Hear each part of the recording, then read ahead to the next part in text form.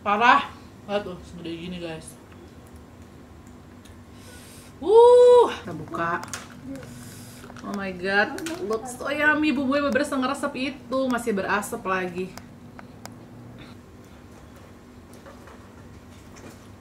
Hmm. Halo semua, ketemu lagi sama aku Tashi. Welcome to my channel. Buat kalian yang suka masak atau yang baru belajar masak atau yang cuma suka lihat makanan aja, channel ini cocok banget buat kalian.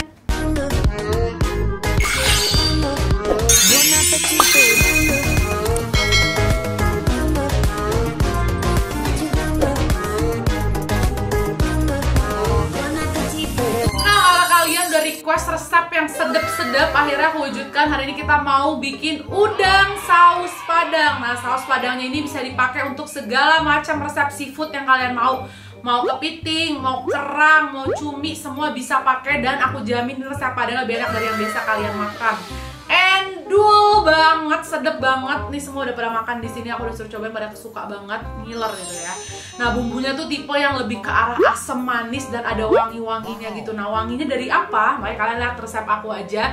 Beda banget dari resep saus padang yang biasanya karena ada rahasia, ada sedikit daun rahasia yang membuat rasanya tuh ke upgrade jadi lebih enak. Nah udangnya di sini aku pakai udang galah yang super gede banget. Ini kayak pertama kali juga deh aku makan udang galah segede gitu. Gede banget guys, kayak lobster. Nah tapi bisa juga pakai udang kecil. Kalau kalian gak suka udang ganti kerang ganti kepiting semua tetap enak rasanya. Yang penting kalian ikutin aja step by stepnya dan takarannya ikutin yang sama persis. Dari gula garam lada aku sengaja taruh yang bener-bener detail. Biar kalau kalian bikin sausnya rasanya bisa sama persis sama aku. Oke aku udah gak sabar. Sekarang langsung kita lihat aja resep udang saus padang ala aku. Oke, sekarang kita bikin udang saus padang. Jadi bumbunya tuh ada bumbu yang kita tumis, kayak udangnya, jagungnya, ada juga nanti bumbu yang eh, bumbu halus ya untuk bumbu warna kuningnya. Ini dia bahan-bahannya, kalian bisa catat dulu. Sekarang kita langsung mau mulai masak.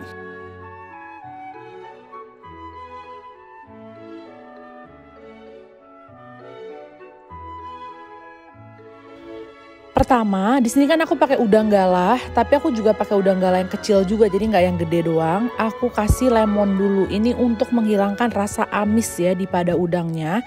Nanti bisa didiamkan sekitar 15 sampai 20 menit. Kalian ratakan dulu ke seluruh permukaan udangnya.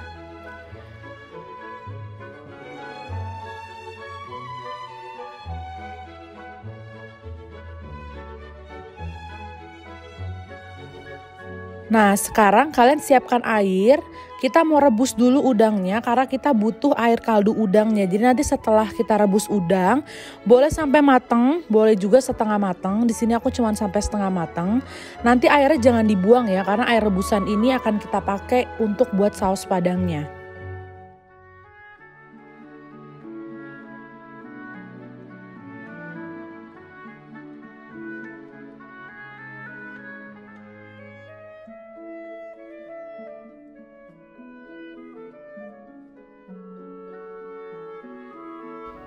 Tuh warnanya udah mulai berubah jadi orange. Ini aku udah setengah matang menuju matang ya. Habis itu aku tiriskan udangnya dan airnya aku simpan. Sekarang kita mau bikin bumbu halusnya. Masukkan dulu 5 gram jahe dan 10 gram kunyit. Lalu 10 siung bawang putih ditambah 8 siung bawang merah dan 8 cabai merah besar. Nah, kalau tingkat kepedasan bebas ya. Di sini aku cuma pakai 4 rawit karena nggak mau terlalu pedas dan bisa dimasukkan lagi minyak sayur sekitar 2 sampai 3 sendok makan lalu di blender.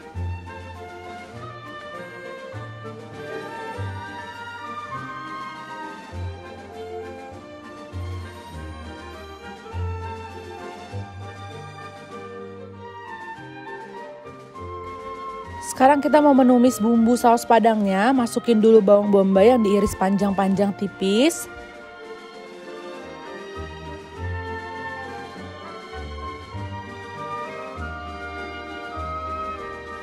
Lalu masukin potongan atau irisan bawang putih cincang. Sebenarnya ini tergantung selera, boleh 5 siung, boleh 10 siung. Nah, bumbu halus yang tadi udah kita blender kita tumis bersama bawang putih dan bawang bombaynya. Ingat ya, bumbunya nih kita harus tumis sampai benar-benar udah mateng. Jadi biar nggak ada wangi-wangi cabai mentahnya ya. Ditumis bener-bener sampai warnanya tuh sudah kental banget bumbunya. Lalu sambil menumis kita masukkan 3 lembar daun salam.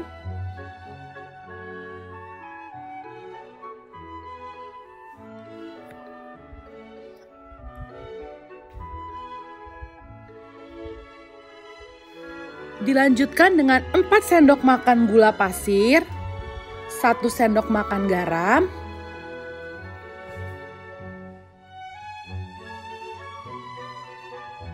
dan juga lada.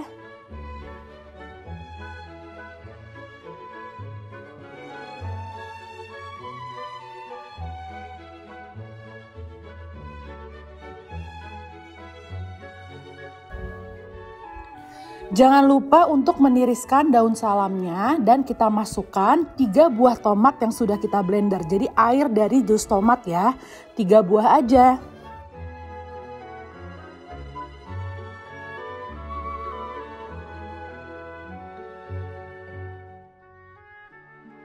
Nah, air rebusan udang tadi 600 ml kita campur dengan 3 sendok makan maizena lalu kita aduk dulu.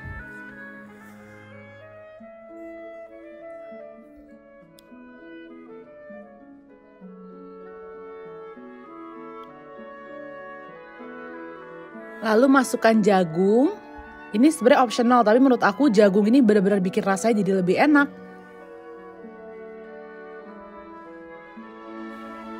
Nah, air rebusan dan campuran dari maizena dan air rebusan udangnya kita masukin ke saus padangnya. Ini akan bikin aroma saus padangnya tuh jadi wangi banget. Lalu dicampur lagi dengan 3 sendok makan saus sambal dan 3 sendok makan saus tomat.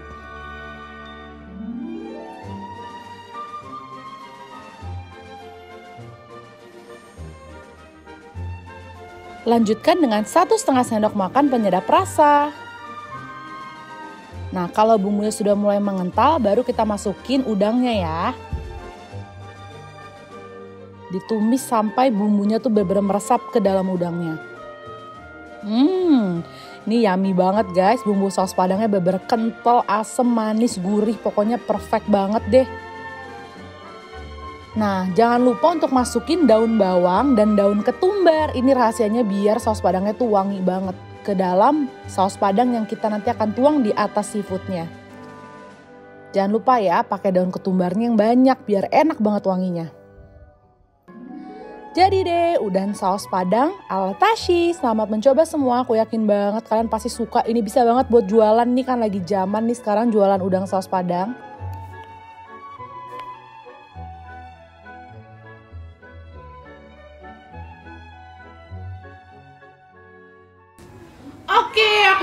Sabar saatnya aku mau mukbang udang super jumbo dengan saus padang buatan aku yang super yummy ini. Ini aku udah siapkan di sindang. Tadi setengahnya udah kita makan bareng-bareng tim aku, yang ini buat aku gitu karena aku mau mukbang. Oke, kita siap kita tuang.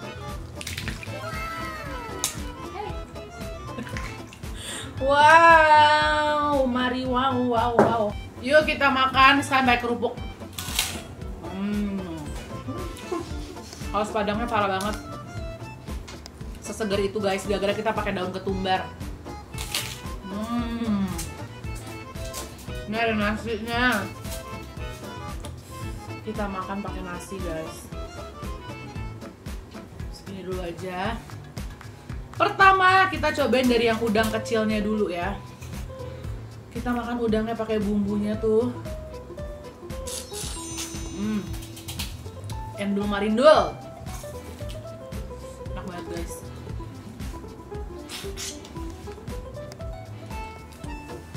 Kita buka udangnya tuh seger-seger banget nih si Hashim yang beli. Bener-bener kayak udang gede-gede jumbo yang super segar. Emang kalau makan seafood tuh kuncinya harus yang fresh. Terus aku kalau makan udang lebih suka udang yang ada kulitnya. Dia bisa disedot-sedot gitu. Mau makan, bismillahirrahmanirrahim. Hmm.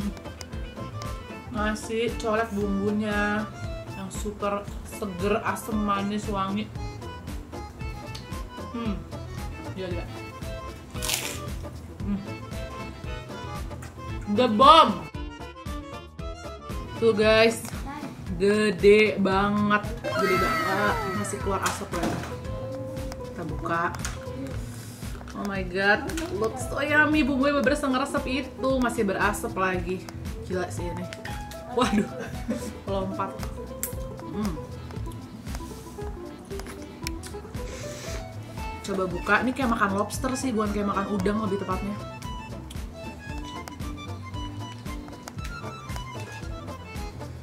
Uh, gede banget. Sumpah nih udang gede banget. Literally kayak lobster. Dagingnya juga lembut banget tuh, segede gitu guys. Cocol, maricol.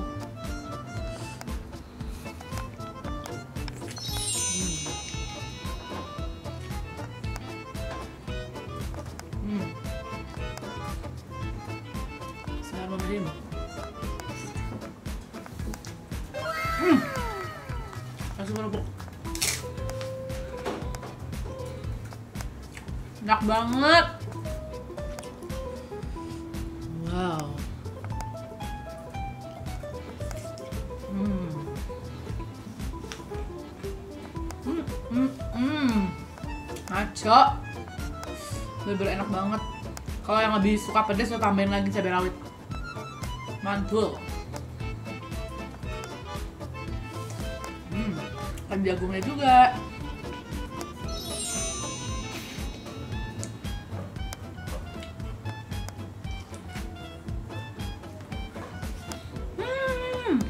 Gila.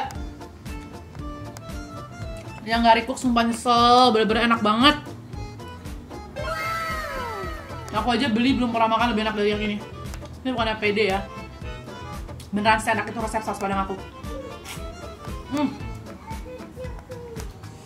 Aku mau makan lagi udangnya satu lagi.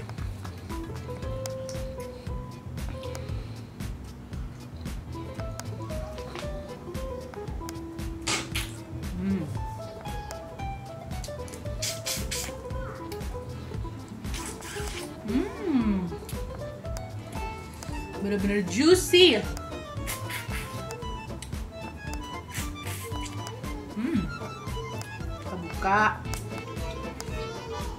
Udangnya bener-bener empuk banget dagingnya.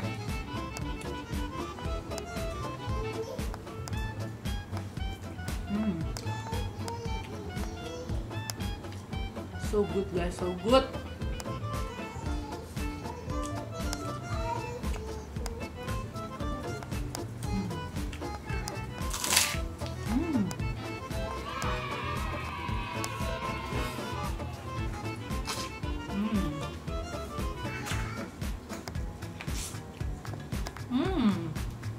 Bener seafood tuh dikasih jagung udah the best tau sih?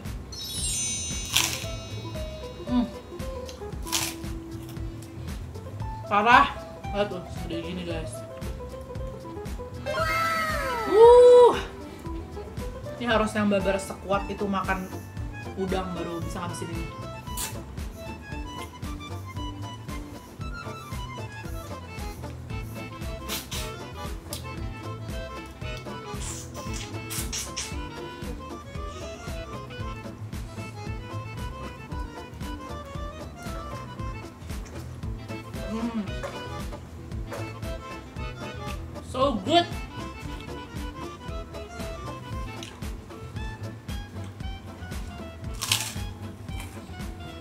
Yang udah sempat bikin jangan lupa ya di tag ke aku kalau perlu bikin video makan kayak aku juga nih makan saus padang pakai udang ke Instagram aku. Gimana? Udah lihat resepnya? Udah lihat aku makan dengan lahap udang saus padangnya? Jangan lupa di recook ya. Kalau udah recook, jangan lupa tag dan mention aku di ada social account aku ada Instagram aku di sini. Nanti aku pasti repost hasil-hasil masakan yang enak dari kalian. Jangan lupa ya tapi ya di tag dan tulis hashtag geng masak. Thank you for watching. Don't forget to like dan subscribe to this channel. Ayo kita subscribe biar banyak yang masaknya udah mau 1,3 juta nih gak terasa. Thank you yang udah subscribe. I'll see you on my next one. Bye bye.